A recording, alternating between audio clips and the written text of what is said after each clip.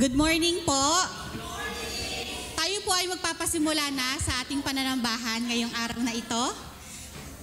Tinatawagan na po namin yung mga nasa labas na maaari na po bang pumasok para po sa ating pa- pagsisimula.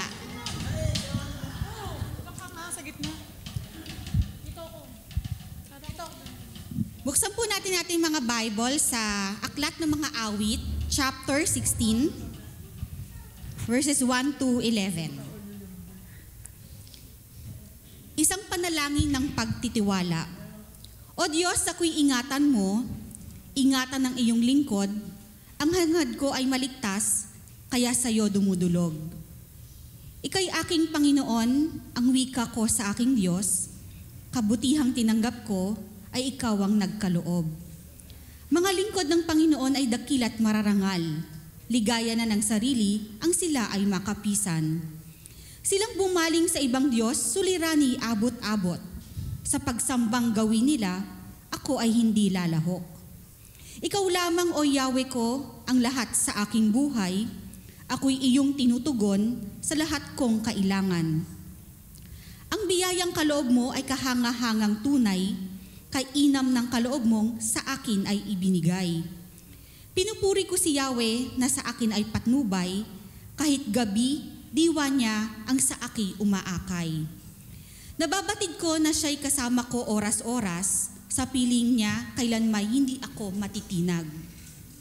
Kaya't ako'y nagdiriwang, ang diwa ko'y nagagalak, ang lagi kong nadaramay, hindi ako matitinag. Pagkat di mo tutulutang, ang mahal mo ay malagak sa balon ng mga patay upang doon ay maagnas. Ituturo mo ang landas na, na buhay ang hahantungan, sa piling mo'y madarama ang lubos na kagalakan. Purihin po ang salita ng Diyos. Ayan. Hello. Hello. Right there. Iyo ko excited makuwi tayo sa Ohio. Iyo masaya. Iyo handa na makuwi ako noon sa Ohio. Yeah. Napakadami natin. Pwede mo magbigyan natin ng malakas na palakpa. Malakas na makuwi kayo. Hallelujah! Woo!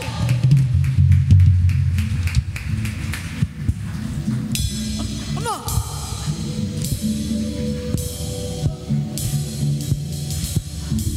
When the light has fallen, when fear is coming, still you're calling me.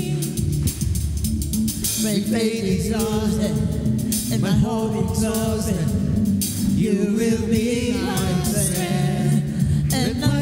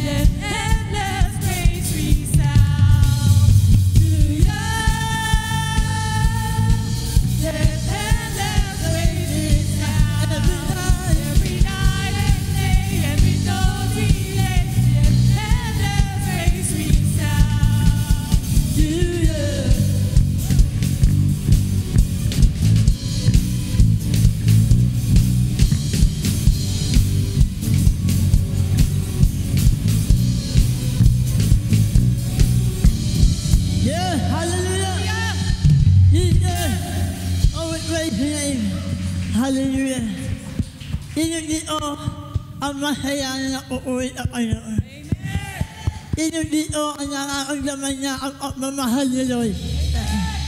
Amen. Pwede po ba itaas natin ang ating mga kamay? Pupulihin natin ito Panginoon.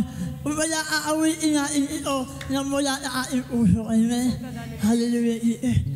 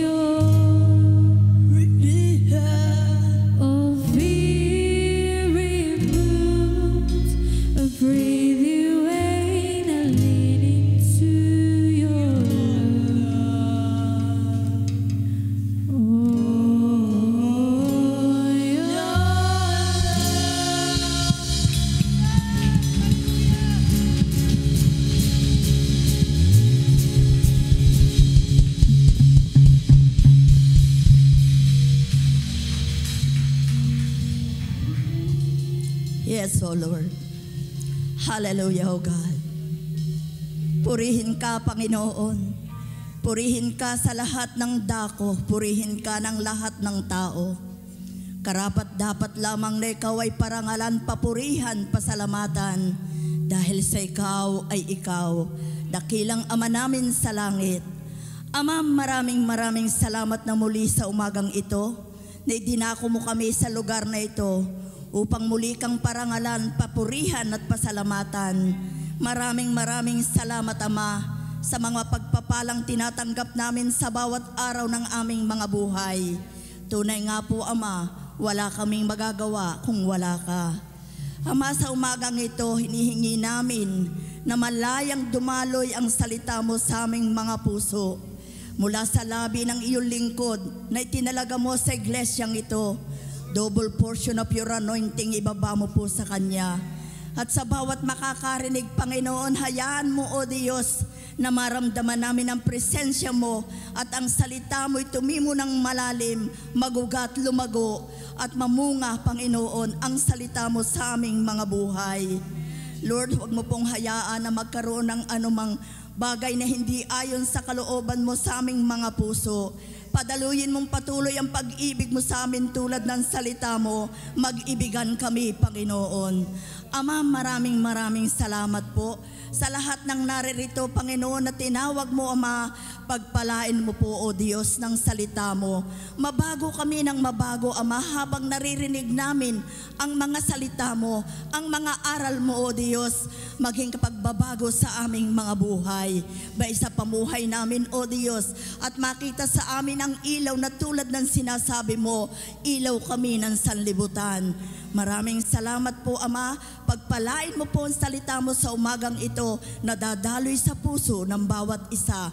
Marami pong salamat, Ama, sa iyong parangal papuri, tanging sa iyo lamang, sa pangalan ni Jesus. Amen.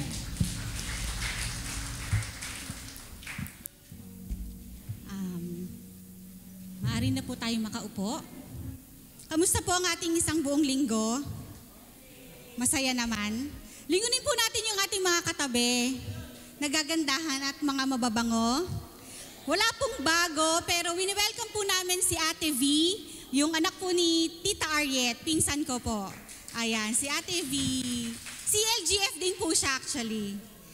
Ayon.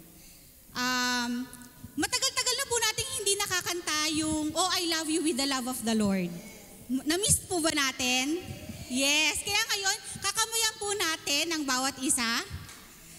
Habang kinakanta po natin, Oh, I love you with the love of the Lord.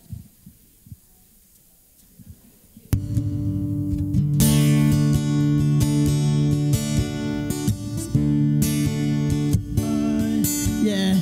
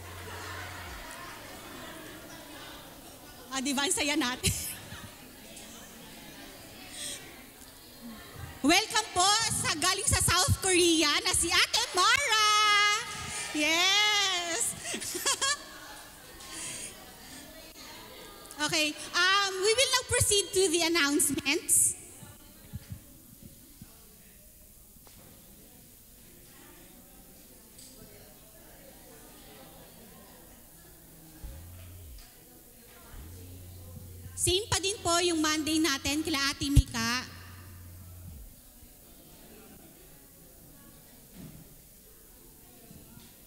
Walang background music. Wala talagang background music. Wednesday po, No Life Connect. Ayan na yung background music.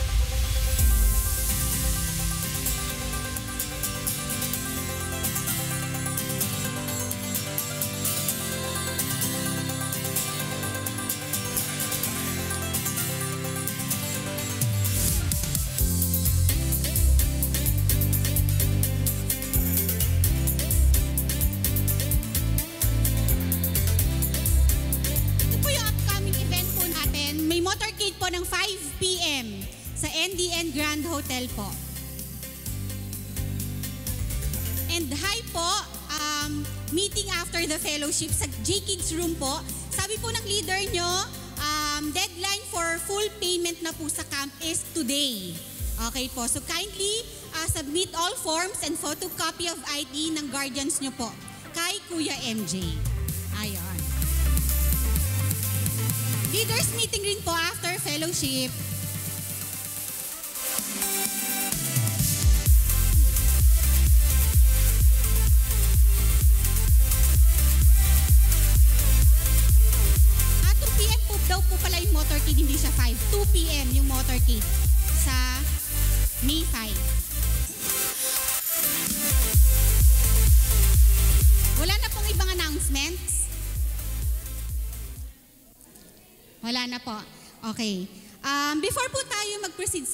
Tithes, ma-share ko lang po, kasi yesterday, I uh, participated in a focus group discussion in UP Diliman because my uh, former professor invited me po for the revision ng curriculum. Marami po kami na-discuss na topics doon, pero one of the things po na napag-usapan namin is yung culture that we have and paano nat namin siya ini-imbibe once we step out of the university. Doon ko po na ano na, yung kung kami nga mga, mga tika-UP, may kultura, tayo pa kaya na, sa kaharian ng Diyos. Tapos naalala ko po yung nabasa ko nung isang araw. Sabi doon, uh, we are the aroma, wala pa dito, we are the aroma of Christ to others. Yan, ipopost po ni Moses para mas ma-feel natin yan. So we are the aroma of Christ to others. As we follow Jesus, we become permeated with the fragrance of Christ, which we carry wherever we go, whatever we do, through what? Through words. Sa pananalita po natin. And second, through deeds. Yung sa pumumuhay natin. So let us make it our prayer that may the Lord Jesus make us carriers and communicators of the Lord's beauty. Saan po? To the people, especially where? In our homes. Kasi mga mahal natin sa buhay yan eh. Saan pa po? Workplaces, schools, and even sa neighborhoods po natin. So, ang sarap pagkasama mo yung ano eh, kumbaga nakikita sa'yo, yung kaharian ng Diyos, yung ano ba yung kultura natin, dapat nakikita yan sa pananalita natin. Yung pananalita na hindi siya matalas na nakakasakit ng kapwa natin, kundi nagiging blessing tayo sa iba. So there. Um, ngayon po, ah, ihanda na po natin yung mga tithes po natin. Sabi nga po, we honor God with our giving, and that is through tithes and offering. Sabi po dun sa Proverbs chapter 3, verse 9, Honor the Lord with your wealth, with the first fruits of all your crops, then your barns will be filled to overflowing, and your vats will brim over with new wine. Ganun po magpala ang Panginoon. Lubos-lubos, masaganang pagpapala. Kung tapat din po tayo sa ating pagbibigay sa Panginoon. So there. Ah, sama-sama po natin ihanda ang ating mga kalob at tayo po ay manalangin. Hallelujah. Yes, Father. Panginoon, naririto po ang aming mga tithes and offering, Father God. Maging mabangong samyo po ito sa iyong harapan, Panginoon. Maging mabangong aroma po ito sa iyong harapan, O God. At hayaan mo po, Panginoon, na patuloy mo pong pasaganain ang buhay ng bawat isa po sa amin na narito sa umagang ito. Pagpapalain mo po ang bawat trabaho, ang mga negosyo, Father God, at maging ang mga kapatid po namin na naghahanap ng trabaho, Panginoon, ay pagkakalooban mo po na magagandang trabaho, O God, at maging patuloy po kaming tapat sa pagkakaloob sa iyo, Panginoon, upang mapalagana pa po ang iyong salita, O God. Lord, marami pong salamat, Panginoon, sa pangalan ni Jesus. Amen. So I shift my Sua X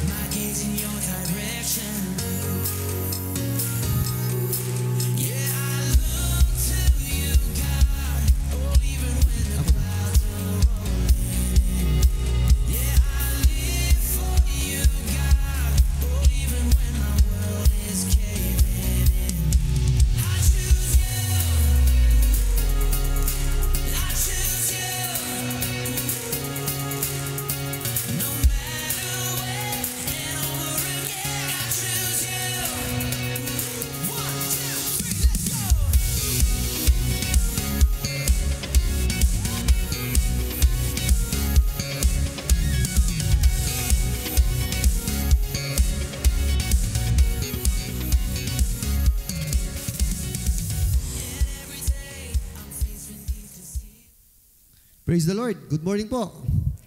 Good morning. So, tayo pong lahat ay tumayo. Minsan pa tayo lahat ay tumayo.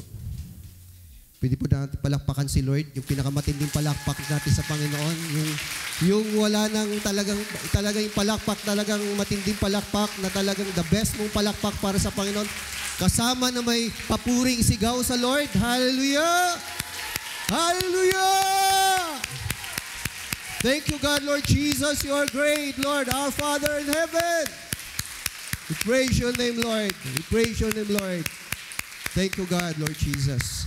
Tayo manalangin, aming Ama, sa oras na ito, kami po ngayon ay, alam mo naman, Lord, na wala po kaming ibang desire, kundi ang malaman namin ang kalooban mo kung bakit ka bumaba dito sa lupa.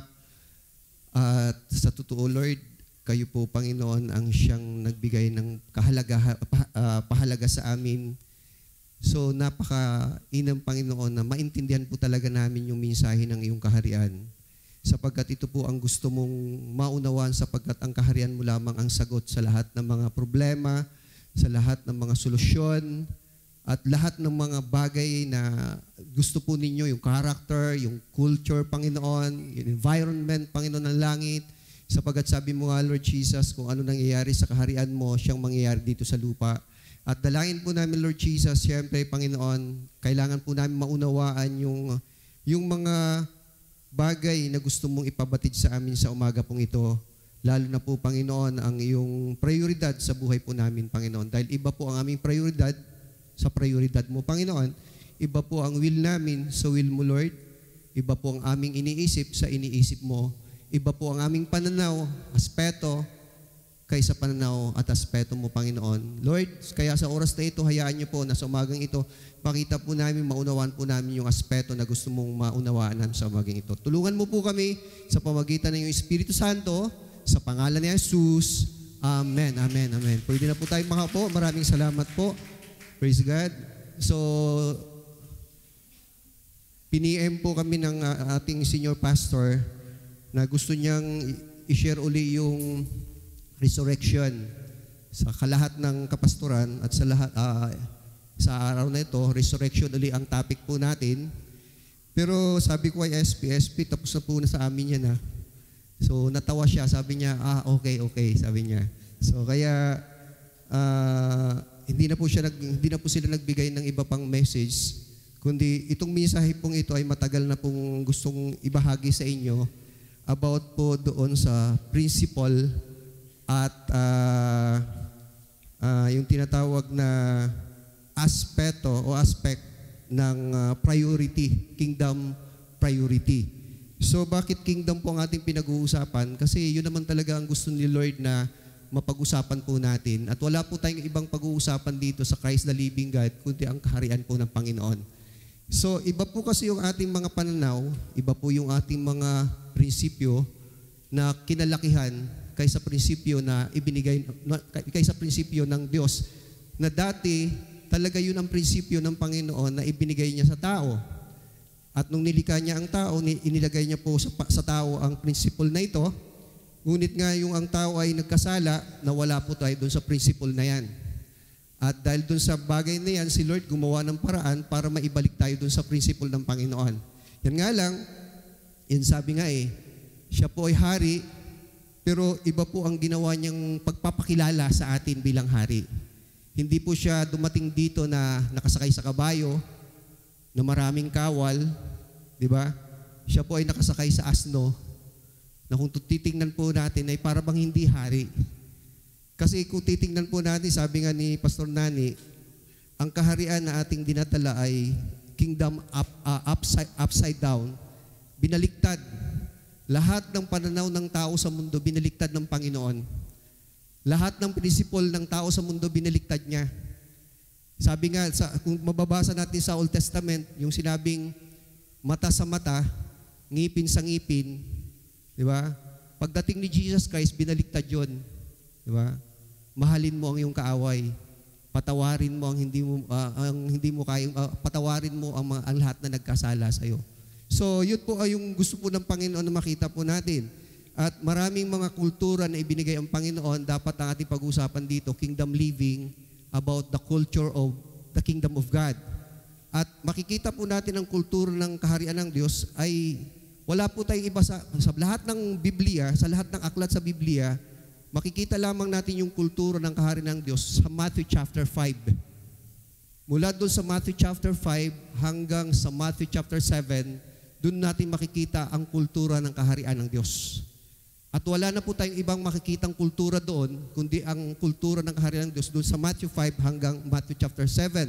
So, yan po yung gusto po ng Panginoon maunawaan po natin. But today, ang ating po pag-uusapan ay the principle and uh, aspect of kingdom priority. So, rediscovering the priority. Ano po ba ibig sabihin ng discovering? To find something or someone again again after losing or forgetting about it. So, yung sinasabi ko nga sa inyo kanina, bakit natin i-rediscover yung ah, priority ng Panginoon sapagkat ito po ay nawala po sa atin. Nung tayo po ay nagkasala, nung ang tao ay bumagsak, nung ang tao ay na- nalayo sa Panginoon, nawala po sa atin ang priority na to. At lumaki po tayo sa priority na kung saan sa kaharian ng kadiliman. Kung ano yung priority ng itinuro sa atin ng kaharian ng kadiliman, yun po tayo ngayon. So, kaya yung pagiging makasarili, doon natin natutunan yan sa kaharian ng kadiliman. Pero hindi, mulat sa pool, hindi talaga inilagay ng Panginoon sa, sa, sa ating pagkatao ang pagiging makasarili nung tayo nilikha ng Panginoon. Talagang iniligay niya sa buhay natin na ang laging isipin natin yung ibang tao, hindi ang ating sarili. So yun lagi ang gusto po ng Panginoon makita po natin. But kaso nga lang, tayo po ay nawala sa Panginoon at tayo po ngayon ay na-disciple sa kaharian ng kadiliman, kaya yun po ang nangyari sa atin. Natutunan natin lahat, kaya nagkaroon po ng tinatawag na religious mentality. At nung dumating si Jesus Christ dito, unti-unti niya po itong ipinaunawa sa atin, but hindi niya po ito ginamitan ng kamay na bakal, parang isang hari na ng hari ng mundo sa physical kingdom na tinatawag. Nung ah, nung tari prayer namin, may nag-preach about po doon sa the physical kingdom and the spiritual kingdom. Ang ganda ng ginawa niya, ang ganda, ang ganda ng, ng topic niya kasi talagang in-explain niya yung physical kingdom, then after doon ay in-explain niya yung spiritual kingdom. So napakalaki kasi kung ating po pag-uusapan ng physical kingdom, although may pagkahalintulad sa spiritual kingdom, pero may mga part sa physical kingdom na hindi ugma sa spiritual kingdom kasi alam naman po natin na yung physical kingdom ay may mga patakaran na hindi pa rin gus- yun, ayun ang gusto ng Panginoon. At alam natin kahit yung mga Pharisees noong unang panahon, kahit yung mga Israelites noong unang panahon, kahit yung mga lingkod ng Diyos na itinalaga sa lumang tipan, makikita po natin, iba yung pananaw nila sa, sa, sa kautusan na ibinigay sa kanilang Panginoon. At nakita ng Lord to, at nakita po ng Panginoon na walang sino man, isa man sa kanila ang nakasunod sa lahat ng iyon. Even Moses, even yung mga taong mga tinatawag na lingkod ng Panginoon. Kaya ang, ang Panginoon naghintay ng tamang panahon hanggang sa dumating ang ating Panginoong Jesus upang ipaunawa sa atin sapagkat sabi nga ng Bible, si Jesus Christ ang ah, visible image of the invisible God. Di ba? Kung hindi man natin nakikita ang Diyos, si Jesus Christ, siya yung siya yung talagang mukha ng Diyos. Although yun talaga ang, ang gusto ng Panginoon na unang ginawa ng Panginoon sa tao. No yung nilikha niya ang tao, kamukha talaga ng Diyos. Kaya nga may tinatawag na first Adam eh. Aso na yung first Adam, bumagsak. At kaya nagkaroon ng tinatawag na second Adam at walang iba kundi si Jesus Christ. At si Jesus Christ, siya po yung talagang mukha ng Panginoon. Sabi nga, nilikha tayo ng Diyos sa, sa kanyang image and likeness. At dahil nilikha tayo ng Diyos sa image and likeness, yun ang nangyari, dahil nawala ang tao, nawala tayo sa image and likeness, then si Jesus Christ dumating para ipakita uli yung image and likeness ng ating Father sa langit. At narinig naman natin sa ating senior pastor, wala pong ibang pinipreach si Lord, kundi ang Father, ang kaharian ng Diyos, ang Father, ang kaharian ng Diyos. Lagi niyang pinipik- pinakakilala to. Although sa bag, pagdating po sa la- mga epistle, hindi naman po ako laban kay Paul, hindi naman po ako anti-Paul, kundi pagdating sa epistle, ah, makikita natin, yun yung tinatawag kasi iba po yung tinatawag the gospel of Jesus Christ and the gospel about Jesus Christ. Pagdating sa epistle, ma- mababasa natin lahat doon yung tinatawag the gospel about Jesus Christ. Pero hindi po pwedeng hindi uh, baliwalain po natin yung the gospel about Jesus Christ kasi napakahalaga din naman po yun. Pero ang pinakamahalaga kasi dito, mas sigit nating maunawaan, alam naman natin, ang Diyos ay nakikipag-deal sa mga tao sa tatlong salita. Knowledge, understanding, and wisdom. So, ngayon ko naintindihan, ang salitang wisdom ay ito po yung application. Ito yung nakikita sa buhay natin. Ito yung pinamumuhay natin. Yun yung tinatawag na wisdom. Matatawag pala siyang wisdom kapag yung kilos mo ay umuugma sa principle ng Diyos. Yun yung tinatawag na wisdom. At hindi siya matatawag na wisdom kung ang kilos mo ay hindi umuugma sa principle ng Diyos. Kasi lahat ng bagay na yan, yung knowledge, understanding, and wisdom, ay nagmula yan sa kaharian ng Diyos. Yan nga lang, pagdating dito sa mundo, na iba. Na iba ang paggamit, na iba ang pananaw. Kanina nga, mayroong nag-send sa akin, sabi ng classmate ko, sabi niya, di ba, ah, sabi niya sa akin, di ba, edukasyon ang, sabi niya, edukasyon ang, may ano doon, eh, hindi niyo alam yun. Edukasyon ang sagot ng ano, sa kahirapan. Pero sabi niya, bakit ganon? Maraming edukado, magnanakaw. biglang sabay ito baba. Edukado daw sagot sa kahirapan, pero bakit pagdating sa ibaba, biglang sinabi niya, eh bakit ganon? Maraming mga edukado, magnanakaw. Ah, Sabi, sabi tama na naman. Sinagot ko naman siya. Sabi ko, ito yung mga taong edukado hanggang knowledge lang. Walang understanding. Hindi na naunawaan yung kanilang pinag-aaralan. Pag tinanong mo naman sila sa maraming bagay, sa mga events, sa mga nangyayari sa mundo, alam na alam. Pero hindi naintindihan. Pwede ba mangyari yon? Yes. Napakaraming tao ngayon na magaling pagdating doon sa mga events, sa mga history ng mundo. Pero pagdating doon, hindi naunawaan kung bakit nangyayari ang lahat ng bagay na yon. So, yun yung ibig sabihin, sabi ko sa kanya, ito yung, Brad, ito yung, ito yung sila sabi, more on knowledge, hate knowledge. Kaya ang nangyayari po, pagdating sa spiritual, dahil sa more on knowledge, nabuo ang religion. Nagit po natin kung saan nagmula ang religion? Nagmula yan dahil sa mga taong hindi na unawaan ang, ang, ang, ang, ang, ang mensahe ng Panginoon, ang information na binigay ng Panginoon, kaya nabuo ang religion. So, dito sabi niya, the, great, the greatest secret to living effectively on earth is understanding the principle and power of priorities, of kingdom priorities. Kasi sabi po, pag di natin pag di natin alam ang mga priorities or pangunahing bagay sa ating buhay, kung bakit nandito tayo sa mundong ito, sabi niya rito, maring hindi magiging epektibo ang buhay natin. Baka kasi ma- maabuso po natin ito.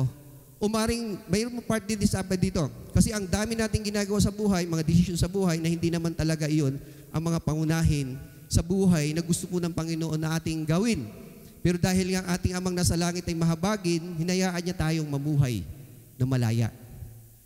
Ibig sabihin po noon, nabuhay tayong malaya. na hindi niya pinapakialaman anuman ang gustuhin natin. Kaya tayo nabubuhay ngayon ng malaya. Amen? Kaya hanggang ngayon, hindi natin may iwasan na nabubuhay pa rin tayo sa pag-aalala at takot. Takot tayo in the sense na kapag mayroong lumindol na malakas sa atin o inuuga ka na ng mga pagsubok, takot tayo in the sense na pag may makaramdaman na tayo, may naramdaman na tayo, ano ito, baka cancer na to, nasa isip mo kagad yun. Ano, pag, pag may naramdaman ka, cancer kagad nasa isip mo. Ano. Wala pa nga, hindi mo pa nga, hindi ka pa nga nagpa-check up sa doktor eh. Iniisip na, naku, cancer na siguro to. So mula doon, wala na, di ba? So takot ka na. Pero alam nyo, ibig sabihin po kasi nito, na kapag tayo po lumalakad sa principle ni Lord, kahit ano pang naramdaman sa katawan mo, hindi ka natatakot. Kahit dumating pa sa isip mo, cancer yan. Sasabihin ng demonyo kasi cancer yan. Kasi alam nyo, yung bawat pumapasok sa utak natin, yun ang kumukontrol sa atin. Bawat pumapasok sa utak natin, yun ang kumukontrol sa atin. Kaya nga dapat lagi nating salain to, sabi nga ng isang bata. Kasi sabi ko, eh bakit ka nagagalit? Eh, pumasok sa isip ko eh, kaya ako nagalit. Sabi ko sa kanya, mali yun. Kasi nagpapakontrol ka sa pumapasok sa isip mo. Hindi pala niya alam bakit siya nagagalit. Sinabihan lang siya, oh, yung damit mo, oh, pawis na pawis ka, yung damit mo, ayun, nagalit siya, nagwala siya. Sabi, bakit ka nagalit? Sinumbong na, bakit ka nagalit? Kasi pumasok sa isip ko, nagalit. Kailan magalit? Hindi magalit ako. Pero palang ganun. Pag pumasok sa isip, magalit, magagalit ka. Diba? Pag pumasok sa isip mo inggit, may inggit ka. Pag pumasok sa iyo inis, may inis ka. Kasi yun ang kumukontrol sa isip natin. Kaya nga, napakahalaga maunawaan mo itong prioridad na to dahil kapag hindi po naunawaan to, talagang papasok po tayo sa isang bagay na alanganin. Kaya ugma sa atin ang kasabihan, we are successful in a wrong assignment. Epektibo sa tingin ng mundo ang ating buhay, pero sa, sa Panginoon, we are successful in a wrong assignment. Ang ibig sabihin dito, ang successful sa tao ay yung makapagtapos ka ng pag-aaral, makapagtrabaho, kumita ng maraming salapi, magkapamilya, di ba? Yung uh, maraming negosyo, tapos marami kang ari-arian. Di ba kung titingnan mo, successful. Pero sa Lord, hindi yun ang tunay na successful. Kasi karamihan ng mga tao kapag ganun ang sitwasyon, meron pa nga dyan, di ba, kumpleto na sa lahat ng bagay, nagnanakaw pa rin eh. di ba? Minsan talagang nadadaya, gusto pa rin maging gusto pa rin maging senador, gusto pa rin maging mayor, gusto pa rin maging ano, ang purpose para kontrolado niya ang lahat ng bagay. Amen ba? Gusto niya lahat, sa kanya na lang ang kita. Gusto niya kapag siya po ay mayor, kapag siya po, oh, di ka man siya mayor, halimbawa, ikaw ang mayaman, ikaw ang negosyante, tukuha ka ng isang tauhan mo na suplayan mo ng pera. O ikaw, gusto kong ikaw maging mayor. Pagkatapos, pag ikaw naging mayor, o, tatrabahuin natin lahat ng negosyo sa, sa bayan mo ay gawin nating ipaprivatize natin at tayo ano. So, Wag, wag po kayo mag-isip ha. Wala po. Ibig sabihin, sa totoo lang, yun ang katotohanan. Yun ang nangyayari sa mundo natin. Hindi lang yan sa bayan natin, kundi sa buong mundo, nangyayari po yan. Kasi kontrolado ng pera. Dahil sa pera. So, yun ang nangyayari sa mga tao. Pero isang bagay po na makikita natin, hindi po yun talaga ang principle ng Lord. Pero bakit, pinapa, bakit pinayaan ng Panginoon? Bakit pinabayaan ng Lord na maging mangyari? Bakit hinayaan na lang mga taong ganun? Sabi ng Bible, marami namang sinasabi ng Bible. Sabi ng Bible, hinayaan na lang sila ng Diyos kasi ayaw nilang makinig, ayaw nilang maniwala eh. Ayaw nilang saliksikin. Kaya nga sabi nung, di ba, ni SB, nung kay, kay Paul, tatanda nyo kay Paul, di ba, lalakbay sila papuntang Damascus. Nakita lahat, pati ng kanyang mga kasama, nakita nila yung liwanag. Pero bakit si Paul lang, ang nakarinig. Ba't yung mga kasama niya, hindi? Ang reason doon, hindi sila interesado. Gulat lang sila, may liwanag. Bakit may liwanag? Pero hindi sila nag-atika talaga, nasa isip niya, kailangan ko matuklasan bakit may liwanag. Sino ang gustong patung patungkulan dito?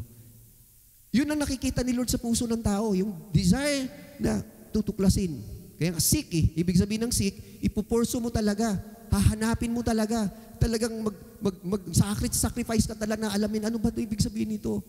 So, tutuklasin mo, Lord, paano ko ba matuklasan ang mga misa, ang kaharian mo? Paano ko ba malaman ang kaharian mo?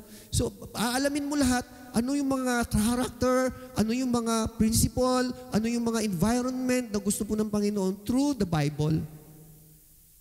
Kaya nga sinabi niya yung repentance, alam niyo yung repentance, hindi lang po sa kasalanan yun. Pag naunawa yung salitang repentance, ang ibig sabihin nun, may bago kang direksyon, may bago kang destination. Ibig sabihin kasi nun, lahat kailangan baguhin sa buhay mo. Yung dating kinaugalian mo, tatanggalin mo yun.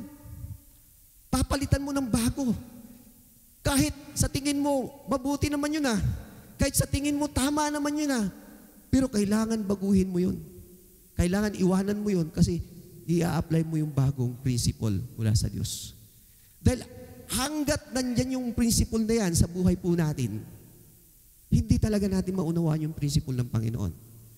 Kasi ang mangyayari niyan, kukunin natin yung kingdom of God, magpipreach tayo ng kingdom of God, pero ang ating ipapasok na principle, yung ating principle pa rin. Principle pa rin ng tao ang ating ipapasok. Kailangan maunawaan po natin bagay na to. So, yun po yung priority na gusto po nang makita ng Panginoon sa atin. Okay, sabi po sa Mark chapter 8 verse 36 to 37. So, repentance ay napakahalaga sapagkat lahat babaguhin sa buhay mo. Babaguhin yung isip mo, babaguhin yung kinalakihan mo, babaguhin mo yung environment mo. That is repentance. Yun po ang ibig sabihin ng repentance. So, dami nating hindi alam to po sa re- repentance. So, sabi rito, Mark 8, 36, 37, And what do you bene- benefit if you gain the whole world but lost your own soul? Is anything worth more than your soul? Sabi niya, ito yung sinasabi ko sa inyo kanina na we are, sabi ko nga kanina ano po, na tayo po ay successful in our wrong assignment kasi lahat nga, nakumpleto tayo dahil sa ating pagkatikaha, dahil sa ating pagpapakahirap, dahil sa ating pagpapakapagod, sa ating mga pawis, kumita tayo ng marami, kumbaga naging maayos ang buhay po natin. After doon, wala na tayong ginagawa. Pero may purpose si Lord, bakit hinayaan ng Lord na mangyari sa buhay mo yun. So, kailangan nung yun ang dapat mo matuklasan. Lord, di ba naalala niyo yung sabi ng Bible, Panginoon, ah, napuno na yung kamali ko. Kumbaga sabi niya, wala na akong kailangan. Ang gagawin ko lang, mamamahinga. Sabi ni Lord, ngayon din, kukunin ka na. Saan mo pupunta lahat ng mga pinag-ipunan mo? Sabi ni Lord. So may purpose kung bakit hinayaan tayo ng Lord sa mga ganung bagay. Kaya sabi niya, anong maatigan natin kung makamtan man natin lahat ng bagay na yun kung hindi naman natin naunawaan ng ating kaluluwa yung mga gustong ipabatid sa atin ng Panginoon. So, hindi na po sinasabing masama na mag-gain natin ang buong mundo. Wala naman pong sinabing masama po yon. Ang masama kasi doon, yung kaluluwa natin, mapapahamak. Kasi kahit man mag-gain mo yung buong mundo, yung kaluluwa mo naman, naintindihan mo yung principle ng Lord, gagawin mo pa rin yung kung ano yung principle ng Lord kahit marami kang mga pag-aari sa buhay. Amen? Pero ang problema doon, mapapahamak ang kaluluwa natin. Kasi ang kaluluwa natin ay mayroong priorities ang Diyos na inilagay dito. Na kapag hindi maganap ang mga priorities na yan, may danger o mapapahamak ang ating kaluluwa. Kaya mahalaga na malaman at maunawa natin ang mga pangunahing layunin ng Diyos sa atin. Tandaan po natin, ito yung, kung ano yung buhay natin ngayon, ay suma total ng bawat desisyon na ginagawa natin araw-araw. Kung sino tayo ngayon, yan ay naging desisyon natin sa ating buhay. Kung ikaw man ay standby lang ngayon, naging desisyon mo sa buhay mo yan, na maging standby lang. Kung ikaw ngayon ay talagang nakapagtapos ng pag-aaral, kasi desisyon mo sa buhay mo, gusto mong makapagpatapos ng pag-aaral. Kung ikaw ngayon ay ah, talagang naging ah, ah, tawag nun, successful na businessman, kasi yun ang kumbaga yun ang naging pangunahin mo sa buhay. Yun ang ibig sabihin dito. Na kung ano yung pangunahin natin sa buhay, yun tayo ngayon. So kung paano natin ginagamit yung oras natin everyday, eventually defines our lives ang oras natin. Na dinidefine niya yung ating, bu- ang ating buhay, bawat oras. Yun ang magiging buhay natin. Alam niyo, yung oras na binigay sa atin ng Lord, dinidefine niya yung maging buhay natin oras-oras. 24 hours, ano ang naging buhay mo? Ano ang mga pangunahin sa buhay mo nung 24 hours? Araw-araw po yun. Yun po ang makita. Ano, makita. So, sabi rito, kailangan makita po natin kung ano po ang ibig sabihin po ng Panginoon. Always remember that life was designed to be simple. Nilikha tayo ng Diyos na simple lang, not complicated. Hindi kagaya ng mga nakalagay sa Facebook, complicated. Di ba? Pero tayo pinilikha ng Diyos ng buhay natin maging simple lang. Pero bakit naging komplikado? Sa kagabi nga, sabi nga eh, tinanong yung pag-aasawa ba ay mayroong tinatawag na ano? Tawag doon? Suffering. Yes, may suffering. Pero hindi talaga yun ang talagang gusto, ang plano ng Diyos na ang pag-aasawa ay magiging suffering. Kasi ang pag-aasawa, blessing. Kung titingnan natin sa umpisa ha, pero bakit nag-suffering? Kasi ang tao nga bumagsak. Yun ang reason. Bakit nagkaroon ng suffering? Kasi ang tao bumagsak. Nawala tayo sa principle ni Lord. Nawala tayo sa priority na gusto ng Panginoon. Kahit sa mag-asawa ngayon, kapag hindi natin inuuna yung priority ng Lord sa bawat mag-asawa, both asawa at babae at lalaki, meron talagang ano, suffering. Meron talagang problem. Kasi binigyan tayo ng Diyos ng principle. Kagaya ng share sa, sa ating kagabi, may mga principle na binigay ng Lord. Na kung lahat ng lalaki ay susundin ng ganitong principle niya at ang babae susundin sa principle to, walang suffering. Walang problem. Walang problem. Worry-free, stress-free. Pero dahil nga, hindi sumusunod ng bawat isa, talagang may suffering talaga. Kaya nga sabi nung ano nung umatin kami ng kasalan, may may may inaanak kami sa kasal pastor din. Sabi nung isang pastor, Pastor, tandaan mo to. Pag yung asawa mong iyan, mahal na mahal, mahal na mahal kang totoo. Ikaw ang talagang mahal mahal niya. Delikado buhay mo. Di ba tayo naman eh, dapat mahalin talaga kasi asawa mo na yan. Pero sabi ng pastor, pag minahal mo ng gusto ang asawa mo, delikado buhay mo. Kasi darating ang panahon, papalitan ka niyan. Pero pag ang asawa mong yan, minahal ng tudo ang Diyos, hindi delikado buhay mo. Kasi hindi ka niya papalitan. Nagit po natin, yung mga tao, di ba, pag mahal na mahal mo yung tao, pag namatay na, patay ka ngayon. Ah, pag yung, yung, yung tao, pag tumaba na, pag nawala na yung ano, wala, di ba? So, nababago. Okay. Sabi rito, We have many tribulations in life. Ngunit kapag alam natin kung ano ang mahalagang pangunahin sa buhay, magiging simple lang ang lahat. Kahit sinabihan tayo ng Lord sa John 16.33, sabi niya, I have told you these things so that in me you may have peace. Sabi niya, in this world, you will have trouble, but take heart, I have overcome the world. Sabi ni Lord. Sinabi niya, I have overcome the world kasi sa Panginoon tapos na lahat. Alam niyo ba na lahat ng bagay na ito tapos na sa Panginoon? Itong ginagawa natin ngayon tapos na sa Panginoon to. Kumbaga tayo, nilalakaran na lang natin yung tinapos na ng Panginoon. Lahat ng mga, lahat ng dapat niyang gawin sa mundong ito, ah, salvation, lahat ng mga function na kailangan mangyari sa kaharian ng Diyos, tapos na, tinapos niya na. Kailangan lang natin lakaran. Kailangan natin lakaran yung tinapos ng Panginoon. Kasi sabi niya rito, I have told you these things so that in me you, have, you may have peace. Sinasabi ko to sa inyo, knowledge, information, para magkaroon ka ng kapayapaan. In this world, you will have many troubles. Isipin niyo po yun.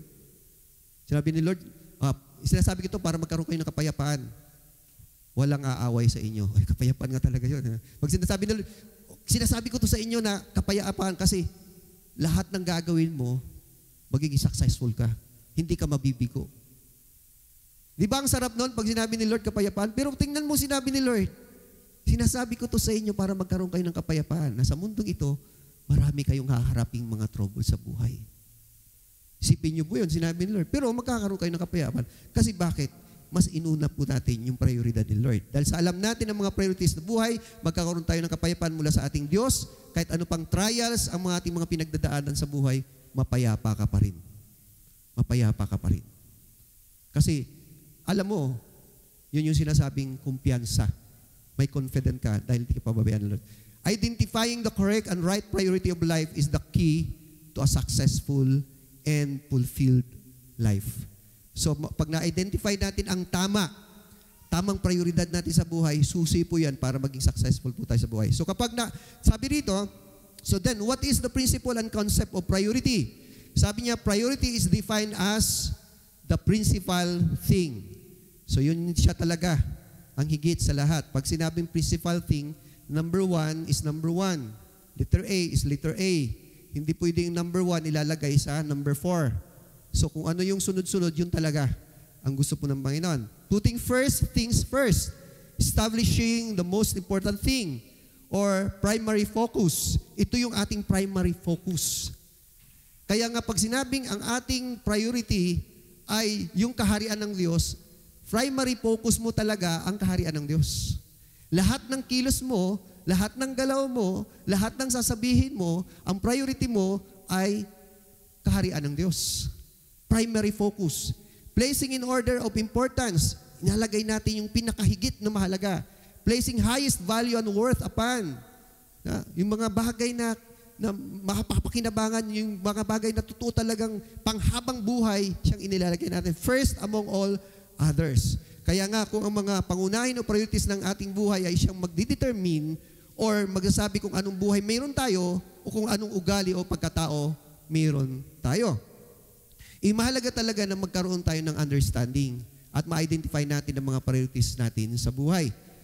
Because the greatest tragedy, sabi niya riyan sa inyong notes, because the greatest tragedy in life is not death, but life without a purpose.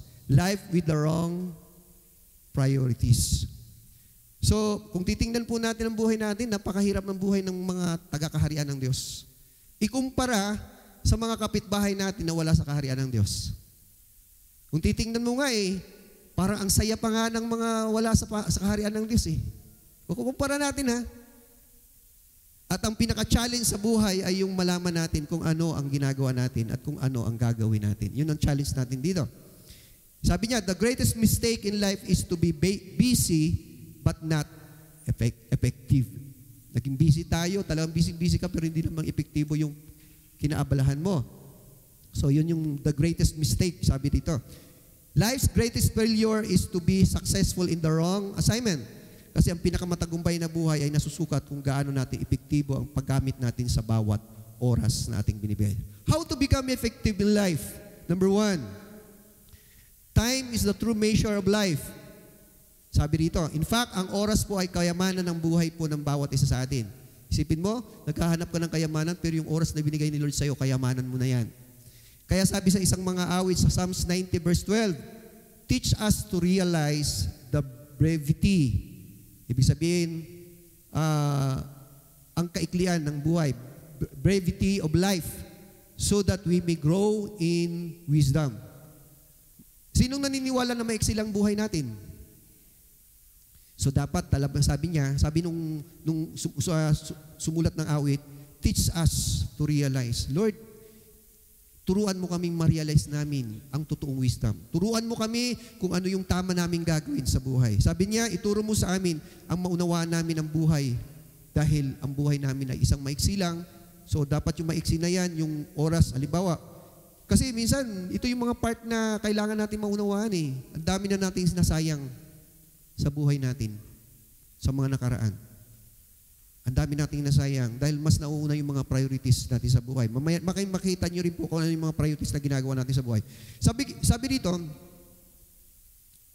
sabi sa Ephesians chapter 5 verse 16, making the best use of the time because the days are evil. So, ibig sabihin makikita natin dito na kailangan natin talaga gamitin ng maayos kasi ang mundo ay masama. Puno ng kasamaan ng mundo. Ang mga thoughts ng tao napupunan ng maraming kasamaan. Kumbaga magiging mabuti o masama ayon sa kung paano natin ginagamit ang ating oras. Marami po kasi sa buhay natin dito, sa kapaligiran natin, gustong bilhin yung oras natin lagi. Alam nyo ba na sa kapaligiran po natin, maraming gustong bilhin ang oras mo. Yes, Facebook, bibiling ko yung oras mo. Mobile Legend. Alam nyo, misa sa Mobile Legend, alam nyo, ang hirap ngayon i ano ang Mobile Legend dahil pati mga professor sa school inaano nila yan kasi doon pala natuklasan ko lang to pero hindi ko ini-encourage ang mga kabataan. Sinasabi ko lang po ito dahil nagagamit nila sa trabaho. Dahil doon nakakapag-usap pala sila ng iba't ibang mga taga-ibang bansa sa pag-games. Pansinin mo sila, may mga kausap na iba. Mga ibang Chinese, Japan, iba-iba yung kausap nila. Doon pa lang nasasanay pala sila sa pakikipag-usap sa iba't ibang tao. Pero hindi ko po ini-encourage po, kay, kung bakit sinishare ko to, tinutuklas ko kasi bakit ganun katindi itong mga bata sa paglalaro na to. At natuklasan ko, pati mga prop nila, nagbibigay pa ng ano, ideas. At sila nagpapalitan. Sabi ko ba, paano natin, tayo mga magulang, paano natin hadlangan ang lahat ng bagay na yan? Mapalad yung mga naunang bata nung panahon na wala pang mga gadget sa panahon ngayon. Pero ngayong millennial, ang dami ng mga gadget na hindi na natin pwedeng, hindi naman pwede natin silang hindi bilhan. Nagiging mukhang kawawa naman sila. Tama, hindi. Oh, kayo din naman ang susuko. Pag hindi nyo gagawin yan, ha? Hindi naman po pwedeng hindi mo papasukin ang anak mo. Eh, ang kalabasan niyan, eh, ano mangyari? So, tayo mga magulang din, isipin nyo, tayo mismo, sumasabay na rin na hindi natin namamalayan. Bakit? Kasi nga, hindi natin naiintindihan yung mga nangyari sa mundo. So, tinuklas ko, bakit nga ito katindi mga batang ito? So, ito po ang mga nangyari sa kanila, binibili yung oras. O hindi kaya binibili yung oras mo sa pag- pag-standby lang. Binibili yung oras mo sa ano pa? Maraming mga gustong bumili ng oras mo para lang wa- mawala ka sa prioridad mo sa Diyos. Tama, hindi? Okay. Lahat ng privileges, mga nakikita natin, mga narinig natin, mga naramdaman natin, ay gustong bilhin yung oras mo. Nuulit ko po, lahat ng mga privileges na nakikita po natin, narinig natin, naramdaman natin, gustong gamitin at bilhin ang oras po natin. Ang bayad ay maaliw ka. Ay maaliw ka naman talaga. Tama, hindi. Ang bayad ay matutuwa ka para lang maubos ang oras mo sa buong maghapon. Ano nangyayari? Dandahan. Your time is important because your time is your life. Napakahalaga ng oras sapagkat yung oras ay buhay po natin. Kaya sabi sa Colossians chapter 4 verse 5, Be wise in the way you act toward outsiders. Make the most of every opportunity. So your time is your opportunity to share them your faith. And every time has an opportunity. So, kung kikikti, yung lahat ng oras, ibibigay ng Lord sa iyo, oportunidad yon para ibahagi mo yung faith sa mga tao. Pero kayo mismo ang nakakaalam. Pagkasama yung, yung mga kaibigan, nagagawa niyo po ba yon? Yun ang isang bagay na problema. Kapag may kausap kayong kapitbahay, nagagawa niyo po ba yon? Handa po ba kayo? Hindi man yun magawa, pero handa po ba kayo sa bawat privi- privileges na mangyayari? Kagaya nung ano, kagaya nung mayroong nangyari. Ah, Sabi nila, Pastor, nung nangyari to sa amin, talag, tinatawagan ka namin. Tatawagan namin sa atin ni Lord, pero hindi namin kayo makontak. Eh, sabi ni Lord, kaya hindi kami makontak kasi gusto ni Lord, kayo na ang gagawa. Lagi kayong handa. Kasi yung yung yung yung yung ah, yung power na binigay ni Lord sa akin, yun yung power na binigay din ng Diyos sa inyo. At kailangan kayong gamitin ng Panginoon. Kaya, number one, para maging epektibo ang buhay po natin, time is the true measure of life. Kailangan marunong to, tayong gamitin ang oras natin sa mga privileges or mga priorities na gusto po ng Panginoon maunawa natin. Ito po yung ating pinag-uusapan series po ito at kung ano man po ang ating sa mga susunod na panahon ay makita po natin po ang mga gustong ipawatid ng Lord dito.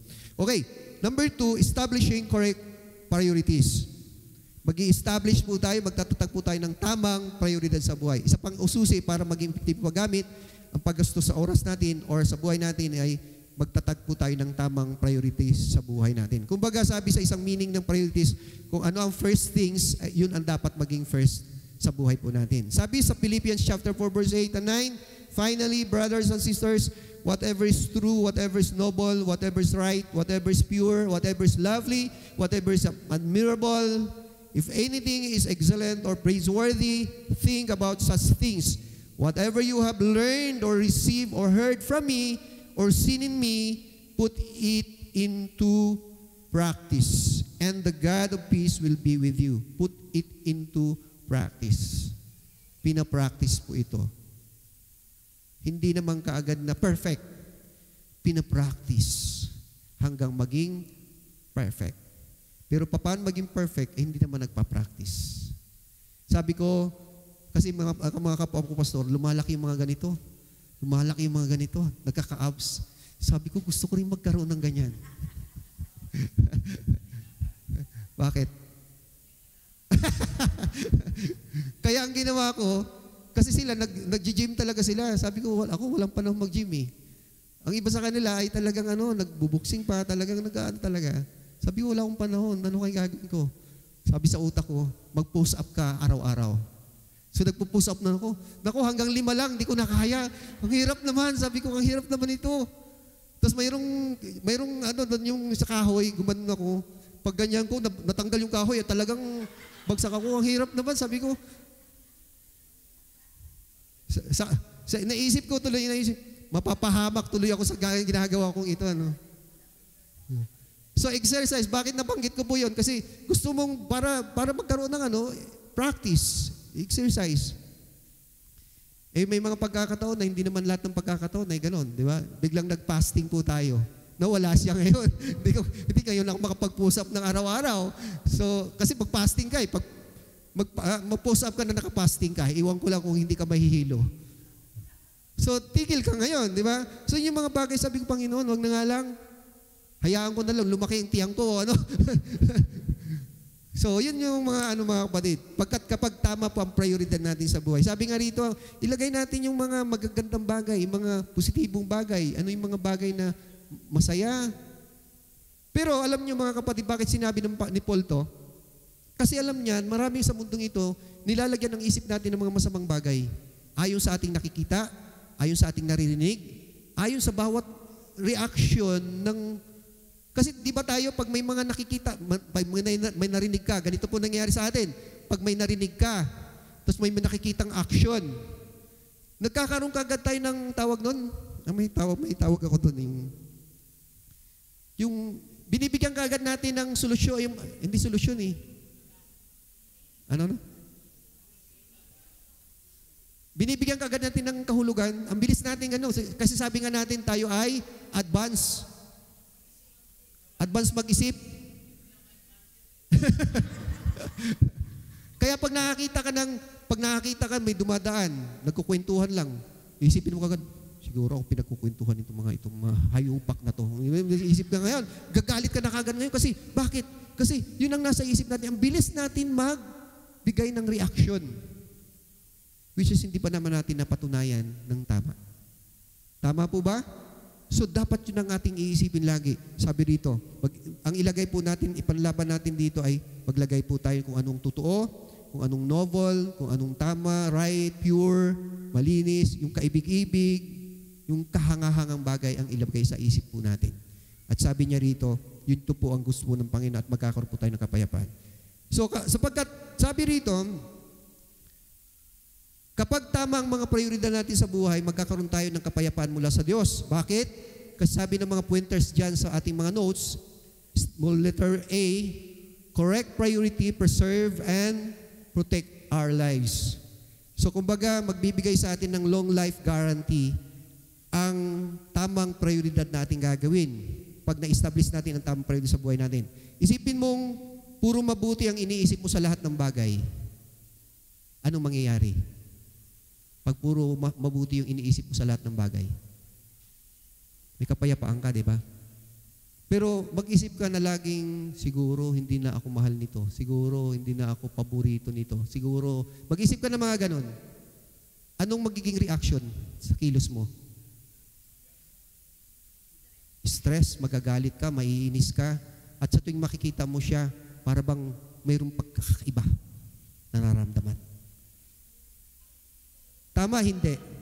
So ito po yung sinasabi ng Panginoon. Sabi nga sa Pilipias na ating binasa kanina. Kaya sabi niya, sarap po ng feeling kapag puro mabuti. Sabi nga ng Bible na may nabasa ako sa Bible, kapag ang puso po natin mabuti, lahat ng bagay ay mabuti. Masama man na nangyari, pero ang, ang, kasi dahil ang puso mo mabuti, lahat ng bagay mabuti pa rin. Alam mong mabuti pa rin. Pero kapag masama ang puso mo, kahit pa magandang bagay ang nangyayari sa buhay mo, kahit maganda pang gagawin sa'yo, dahil masama ang puso mo, ang lalabas pa rin, masama pa rin. Tama, hindi.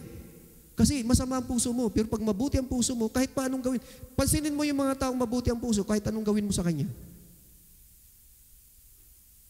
Mabuti pa rin para sa kanya lahat. Doon tayo matitest. Bawat isa sa atin. Bawat isa sa atin. Letter B, correct priority protects also our time. Kapag nag-set tayo ng tamang prioridad, we use our time for intentional purposes. Kumbaga, our time is not abused or wasted, wasted, wasted, wasted. So, kapag ang ating pong tamang prioridad ay nag- ginagawa po natin, hindi po natin masasayang, hindi po natin maubuso yung oras, hindi po natin maubuso yung buhay natin. Kasi tipansinin mo, maraming tao ngayon, di ba, dahil hindi tama ang prioridad ng ginagawa sa buhay, ang daming naabuso ang oras, nasasayang ang oras, na, na, na nawawala yung oras. Isipin mo, 10 years ka lang, may isipin mo na, maisip mo, kung hindi mo alam na 10 years na lang pala ang buhay mo, o di kaya, mula nung isinilang ka, 10 years ka na lang mabubuhay, walang nakaalam ng ganon. Tama? Hindi. Maraming mga tao ngayon, pag, pag, pag may isinilang, di mo alam kung anong maging kalakihan pagdating ng panahon. May nakita akong isang taong, ano yung sinasabi nating taong grasa, nung nakita ko siya, sabi ko sa isip ko, nung ipinanganak kaya ito, siguro ang saya-saya niya. Na hindi niya akalain na pagdating ng panahon, maging ganun siya. Nakuha po natin, walang nakakaalam. Na nung sinilang siya sa mundong ito, siguro masaya, siguro talagang tuwang-tuwa ang magulang, pero hindi natin alam kung anong mga nangyari, bakit napunta siya sa ganung sitwasyon. At walang gustong tao na maging ganun. Tama? Pero wala, hindi natin alam ang mga plano ng buhay. Kailangan natin malaman ito sa ating, may, like, may likha sa atin. Walang ibang may likha sa atin kundi ang Diyos. Ang alam natin, Pa- Panginoon, ano po ba ang priority mo sa buhay ko? Dahil ang dami mo nang ginawa sa buhay ko, Panginoon. Ang dami mo nang nilikha sa buhay ko. Ang dami mo ng blessing na binigay mo sa buhay ko, Panginoon. Ano po ang, ang gusto mong mangyari? Sabi dito, letter C, correct priority protects our energy. So failure to establish correct priority causes you to waste, to waste your two most important commodities. Ano yun? Yung time natin at saka yung energy natin.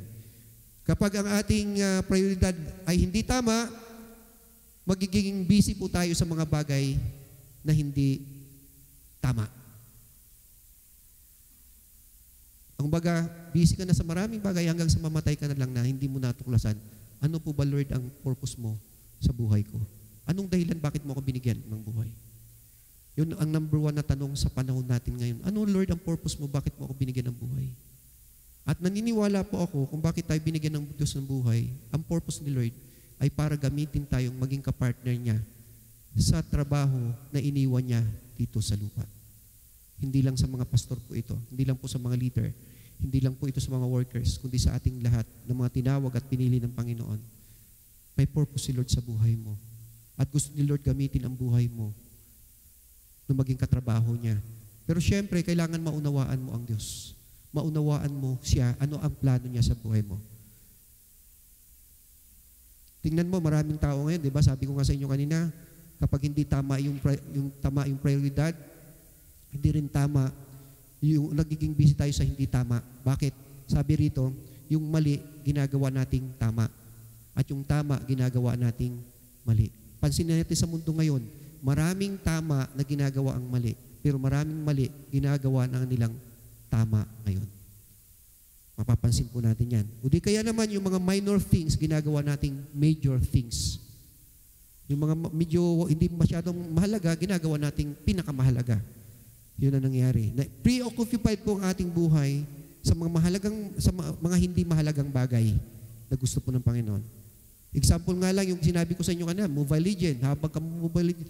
Bari siguro hindi masama yun kasi makakatulong sa iyo kinabukasan pag Mobile Legend kasi makakapag ano ka, makikipag-communicate, makikipag-communicate sa iba't ibang tao. Pero dapat may oras. Dapat alam mo paano mo gamitin. Dapat marunong ka doon. Dahil pag hindi ka marunong sa bagay na yon, alam niyo mangyari sa inyo? Sisirain yung relationship niyo sa inyong magulang. Sisirain yung relationship niyo sa ibang tao. Bakit? Kakausapin ka ng magulang mo, ayaw mo. Meron nga bata eh, kinakausap ko, oh, uy, ano no, huwag kang magulo. Isipin, bata pa lang siya. Kasi dahil lang naglalaro, Pero sabi, uy, may sasabihin ako sa iyo, mahalaga. Huwag mong magulo. Magagalit siya. So nasisira yung relationship. Tama, hindi. Kaya nahihirapan tayong mag-build ng relationship sa mga tao dahil po sa hindi tama po ang prioridad na ginagawa po natin sa buhay. Pero pag tama ang prioridad na ginagawa natin sa buhay, lahat maayos po ang maging relationship po natin. Correct, number D, uh, letter D, correct priority protects our talents and gifts. Incorrect priorities in your life will cause you to invest in the less valuable, engage in ineffective activity and abuse your gifts and talents. Magagamit mo ang gifts and talents mo sa mga kasamaan upang sarili mo lamang na kasiyahan at karangyaan. Maraming mga gi- gifts and talents ang Lord na binigay sa atin pero nagagamit natin sa hindi mabuti. Minsan ginagamit na lang natin sa ating sarili para masiyahan lang tayo. Pero anong nangyari? Binigyan tayo ng gifts and talents ni Lord para gamitin natin to influence sa mga tao. Sa kanyang kaharian. Yun ang purpose nun. Ang gifts and talents na binigay ni Lord sa iyo ay gagamitin natin to influence sa maraming tao palapit sa Lord. Sa kanyang kalwalatian. Letter C, correct, correct priority protects our decisions. Kapag tama ang ating prioridad, pinuprotekta natin mga bawat desisyon. Kasi kung hindi tama, ultimately, it will cause to us na mag, talagang mag-failure po tayo. Ang result ng mag-failure po tayo. Kaya lagi lang tayong bigo kasi mali ang mga priority sa buhay natin. Letter F, kasi yung oras ko, time na. Correct priority protects our discipline. So, ito yung sinasabi ko sa inyo, pag tama ang prioridad mo, pagdating sa disip- pagdisiplina, smooth ang lahat, in order ang lahat, so happy ang lahat. Pagdating sa discipline. Kapag alam mo yung prioridad, yung tamang prioridad, tamang proseso sa prioridad na gusto ng Panginoon sa kaharian ng Diyos, pag, pagdating sa discipline, maaayos din ang lahat hindi magkakaroon ng ng ano ng gulo, hindi magkakaroon ng mga iba't ibang issue na na lalo na ang kaaway.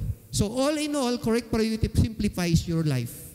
Kapag ta- tama ang priority natin, simple lang ang buhay. Napakasarap mabuhay. Simple lang. Para bang relax lang. Para bang, ah, ang- may tawag sila doon, parang easy-easy lang ang buhay. Napakasarap. Easy-easy in the sense na kahit nasa gitna ka ng pagsubok, in the sense na kahit maraming pag, mga, mga maraming mga manguusig, in the sense na kahit maraming mga tao ang naiingit sa iyo, in the sense na maraming tao na nagsasalita agad sa iyo, easy-easy ka lang. Relax ka lang. Ano lang, okay lang. Chill, sabi ng mga kabataan ngayon, na, narinig ko lang sa kanila, chill lang. Hindi inaalam ko anong chill. Parang okay lang. Sige, tanggapin mo lang, ayos lang. Para bang ang gusto nilang chill, kung magalit ka, magalit ka. Huwag mo magalit, huwag ka magalit. Parang ganun lang. Kung gusto mo, oh, gawin mo. O ayaw mo, huwag. Walang ah, ayos lahat. Para bang, kung gusto niya, pabayaan mo. Huwag mo siyang suwayin. Hayaan mo. Chill lang. Yun ang gusto nilang sabihin. Ibig sabihin ng chill lang.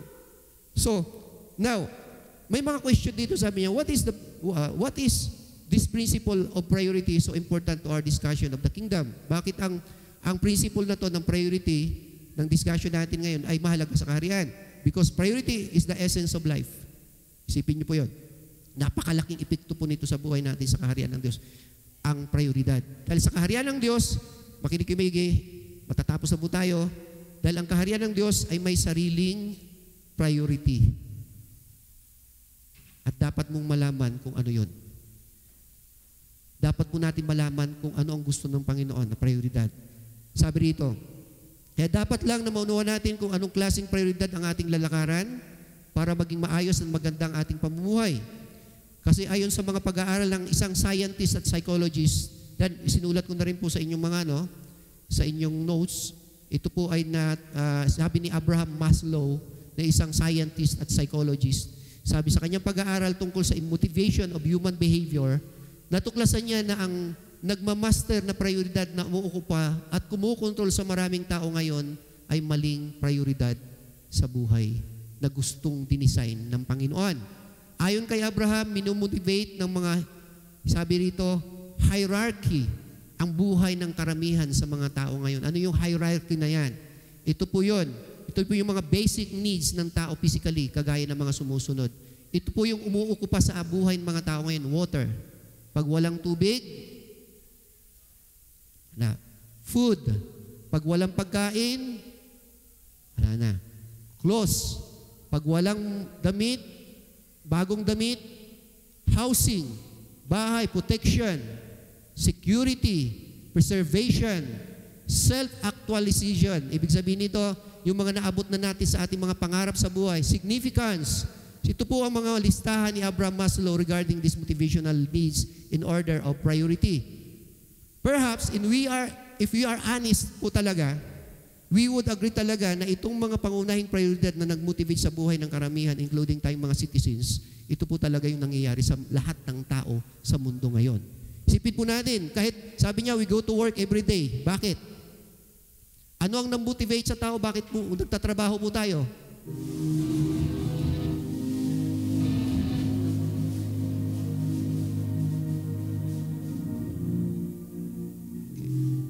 Scott.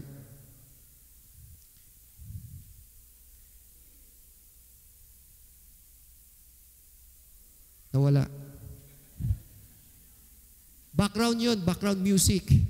Biglang lumakas. Sabi ko kasi may background music, medyo biglang Okay. Sabi rito, isipin po natin pag tayo nagtatrabaho, anong dahilan? Anong nag-motivate sa buhay nyo? Bakit ka nagtatrabaho? Anong dahilan? Alam nyo yon? Alam nyo sa puso nyo, bakit ka nagtatrabaho? Anong nag-motivate sa inyo? Ang kaharian ba ng Diyos? Yun ang tanong doon. Ang kaharian ba ng Diyos na nag-motivate sa inyo? Ang principle ba ng kaharian ng Diyos na nag-motivate sa inyo? Yun ang dapat isipin natin doon. Di ba? Dalawa o tatlo pa nagtatrabaho isang araw just to, just to secure water, food, clothing, housing, and protection. Kaya sabi ni Miles Monroe, sabi, ito yung sabi ni Miles Monroe, ito ang pinakamalaking trahedya sa buhay ng tao. Why? Kasi ang buong human race ay dito lang nabubuhay at namamatay sa mga basic needs na to. Kumbaga, ang simple at temporary things lang ang hindi pang eternity ng buhay nila. Kaya hindi kataka-taka, kahit sa mga churches ngayon, sabi niya rito, bakit ka sumisimba? Anong nag-motivate sa'yo? Bakit ka dumadalo? Yun. So iba pa rin yung prioridad. Sa mga religion ngayon, bakit siya sumisimba? Al- tanungin mo, bakit ka sumisimba? Isasagot sa'yo yung mga basic needs. Pero yung priority talaga ng kaharian ng Diyos, hindi. Bakit? Hindi alam. Ang prioridad ng Diyos. So ang gusto po ng Panginoon na maunawaan po natin lahat ngayon bago po tayo mag-pray, alamin natin na lahat ng gagawin po natin sa buhay, ang nagmumotivate, yung kaharian ng Panginoon. Ang prioridad ng kaharian ng Diyos ang nagmotivate sa atin. Ito ang dapat na gusto po ng Panginoon maunawaan po natin. Sabi nga po dito, no? One common denominator of all religions is the effort to please or appease some deity in order to secure basic needs such as a good harvest, favorable weather, protection from enemies, etc. At sabi pa niya, another factor that all religions have in common is that their primary focus is on the needs of the worshippers. Even yung mga pastors ngayon, ano ang focus ng mga pastors? Matuwa ang mga listeners. Matuwa yung mga worshippers. Kaya ang gagawin lang nila, magpipreach ng, yung matuwa sila, patatawanin ko to sila mga ito para mainganyo lalo sila. Yung iniisip ng maraming mga pastors, mga, mga preachers ngayon, yun din ang sinasabi niya. Sabi ni Miles Monroe. Sabi niya, priority in religious prayers or petitions is for personal needs. Sabi pa niya. Yun ang priority sa mga prayer. Mga panalangin natin, ang prioridad natin, yung mga petitions natin sa Lord, yung pangangailangan natin, personal needs. Hindi natin sinasabi, Lord, ibaba mo yung kaharian mo. Gusto ko pong pagharian mo ako sa buong buhay kong ito. Lord, sa pagtatrabaho ko, gusto kong pagharian mo po ako. Wala, wala, si, may nanalangin bang ganun sa atin pag nagtatrabaho tayo? Wala. O di kayo lagi, Lord, protection mo ako, ingatan mo ako sa aking kaaway, Lord, ha? Masasalubong ko ngayon, ha? Puro personal needs ang ating hiling. Tama, hindi. Pero din sa umaga pong ito, gusto ni Lord na maunawaan po natin unang-unang priority ni Lord na mag-motivate sa atin yung kaharian niya. Principle. Next Sunday, kung luluubin ni Lord, pag-usapan po natin, what is the priority of the kingdom? Ano ang prioridad ng kaharian ng Diyos? Pinag-usapan muna natin ang kahalagahan ng priority. Ano ba yung priority? Ano ba yung pangunahin na gusto po ng Lord Gusto lang po niya, ng Panginoon ipauna sa atin. At sabi nga po rito, di ba, sabi nga eh, sabi nga ni Timothy, di po ito nagtatapos, chapter 6, verse 6, na malaki ang pakinabang ng tao sa relihiyon kung marunong masiyahan ang tao. Sabi niya, malaki ang pakinabang ng isang relihiyon kung ang tao marunong masiyahan. Bakit sinasabi ni Timothy ito? Dahil nakikita niya, kahit ang mga taong sumisimba, ang focus, personal needs. So sa umaga pong ito, ipinapaalam po sa atin ng Panginoon ang bagay na gusto niya na ipabot sa atin. Tingnan natin ating mga sarili. Alamin natin, kausapin natin si Lord sa, gab- sa umaga pong ito. Lord, ano ba ang priority na gusto mong gawin ko sa buhay ko? In spite sa aking mga pangailangan. Kasi sabi naman ni Lord eh, ah, gusto ko, ang gusto kasi ng Panginoon, mangyari sa atin yung all those things shall be added eh. Gusto mong ng Panginoon, alam nyo, si Lord excited na siya na ibigay sa iyo yung all those things na kailangan mo. But the problem, hindi yung prioridad ng Diyos ang nauuna. Nakuha po natin, maliwanag naman yung sinabi ng Lord, seek first the kingdom of God and His righteousness. Kasunod nun, all those things shall be added unto you. Pero bakit Lord? Bakit wala pa yung all those things sa buhay ko? Alamin natin ano yung prioridad ng ginagawa natin sa buhay natin. More in personal ba o more sa kanyang kaharian? Kasi ito po yung gusto ng Panginoon sa ating lahat. Dito pa lang sa lupa, ang church na ito ay isang lugar ng training ground sa atin. Tinitrain tayo sa lugar na ito para pagdating natin sa tunay na kaharian, alam na natin ang gagawin po natin. Parang pupunta tayo sa ibang bansa na dito pa lang nag-aaral tayo. Inaalam natin kung ano ang mangyayari sa ating kinabukasan. Kayo ba pagdating sa kaharian ng Diyos sa langit, anong gagawin nyo? Meron na pa kayong alam na gagawin nyo?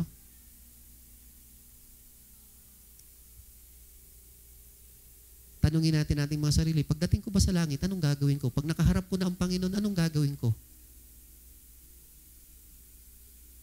At kung bibigyan ka ng Panginoon ng malagintong bahay, anong gagawin mo? Yun nga yung tanong doon, ano? Pero alam naman natin, pag dito pa lang sa mundo ito, pinag-aralan natin yung priority ng Panginoon ng kaharian ng Diyos. Pagdating natin sa kaharian, hindi na natin itatanong yan dahil gagawin na natin kung ano yung dapat na prioridad natin sa Panginoon. Amen?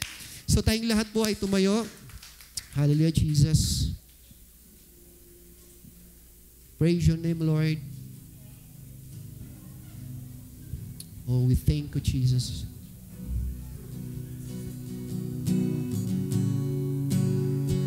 Hallelujah,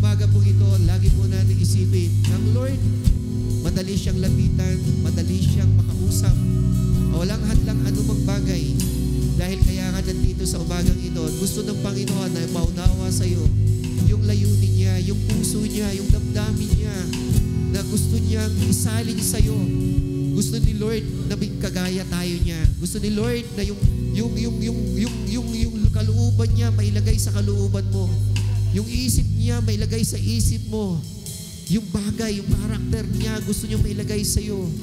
Yun yun, yun yung plano po ng Panginoon sa buhay po natin. Kaya sa umagang ito, lumapit po tayo sa Lord. Atin pong isuko ang buhay natin sa umaga pong ito. Panginoon, tunay nga po Lord Jesus na ikaw lang ang tangi namin kailangan.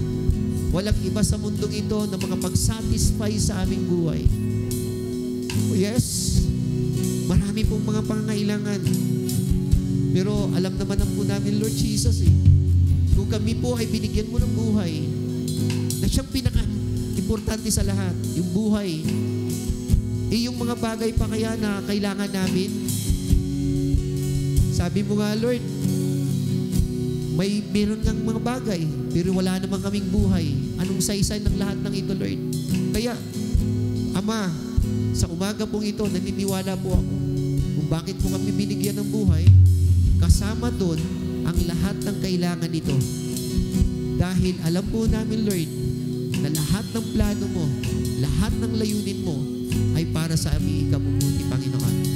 Kaya kung ano man yung nais mo mangyari sa buhay namin sa araw na ito, Lord, kung ano man maging desisyon mo sa buhay namin sa araw na ito, Lord, siya, so be it, Lord. Yun po ang mangyayari sa buhay namin. At alam namin, Panginoon, all things work together for good. Mga umiibig sa iyo, sa lahat ng mga tinawag mo, Panginoon. Dahil alam mo, may kanya-kanyang planong maganda ang bawat isa sa amin. Saan mo man kami dadalhin, Panginoon, may magandang ang plano lagi, Lord Jesus. Hindi po ibig sabihin, Panginoon, na kapag inalis mo kami, inalagay mo kami sa isang bagay, ay wala na. Hindi po. Panginoon, dahil lagi kang may magandang plano. Hindi nga lang namin maunawaan, Panginoon, kaya minsan nagtatanong po kami, nagtataka po kami. Minsan, inaalam namin, Lord, bakit nangyari ito sa buhay namin. Pero sabi mo nga, lahat ng bagay ay may magandang plano ka, Panginoon. Kaya yun po aming aabangan, yung magandang plano na gagawin mo sa buhay namin. Yung maraming magandang plano, gusto namin matuklasan pa, Lord. Yung magandang plano mo na gusto mong ipang, gusto mong mangyari sa buhay po namin, Ama. Tulungan mo po kami, Lord, na makita namin ang prioridad mo sa buhay namin na matagal na nawala sa amin. Higit sa lahat, kailangan po namin ang pangunawa galing sa iyo. At Holy Spirit, ikaw lamang po, Diyos, ang siyang makapagbibigay nito sa amin. Hanggat hindi mo ito ipauunawa sa amin, banal na Espiritu, hindi po namin ito mauunawaan. At wala po kaming hahanapin kapag hindi po namin ito maunawaan, Ama. Dahil kayo lamang po ang makapagbibigay dito sa amin. Right now, Father, give us understanding sa lahat ng mga prioridad mo sa buhay ng bawat isa sa amin. Para sa ganon, lalakad man kami sa makipot, makitid na daan, marahirap mang daanan, pero sa amin, easy lang. Dahil ang prioridad mo na inilagay sa buhay namin, ang siyang ilaw namin, ang siyang agapay namin, hanggang marating namin, Panginoon, yung dulo na ito, Panginoon, ang aming nilalakbayan, dyan sa iyong. Hallelujah! Kaya ang lahat ng ito, Panginoon, papuri sa iyo, Ama, sa pangalan ni Jesus. Sa pangalan ni Jesus. Oh, Christ is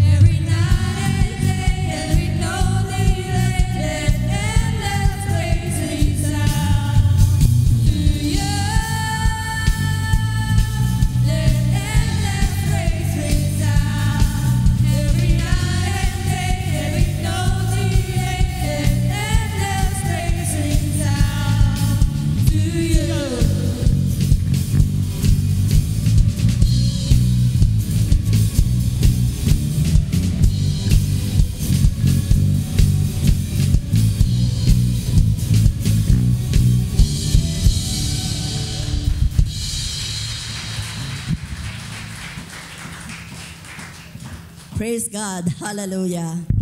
Ama, maraming maraming salamat po, Panginoon, sa gawain natapos sa umagang ito, O Diyos. Sinamahan kami ng banal mong Espiritu at patuloy mo kaming sasamahan, Ama, ng banal na Espiritu mo, Diyos. Na sa aming paglabas sa sambahang ito, God, Lord, sa buong araw, sa araw-araw naming buhay, Panginoon, ang paghahari mo po ang siyang maghari sa aming mga buhay. Pagpalain mo po ang bawat isa na dumalo sa araw na ito, maging ang hindi man dumalo, pagpalain mo, Panginoon. Lahat ng nilikha mo, O Diyos, pagpalain mo nawa ng iyong banal na Espiritu. Ama, maraming maraming salamat po, Ama. At muli, O Diyos, mag- maganap pong muli sa aming buhay ang paghahari mo, Diyos, ang kalooban mo, Panginoon. Siya pong maganap sa buhay naming lahat.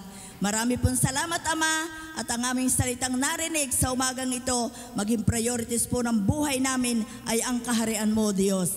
Salamat po, Ama, sa iyo pong parangal, papurit, pasasalamat, tanging sa iyo lamang sa pangalan ni Jesus. Amen.